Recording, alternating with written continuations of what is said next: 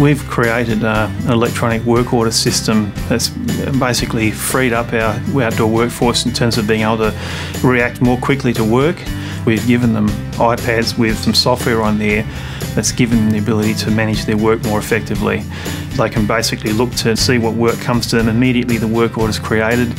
Um, they can sort by priority or by work type, basically giving them the ability to not have to make manual data entry anymore. We see nothing but positive feedback from our workforce, and we just felt that was something that other people should know about. In fact, uh, one of our staff yesterday had a webinar with 30 other councils um, about our system, and of which 10 of them are asked for more information.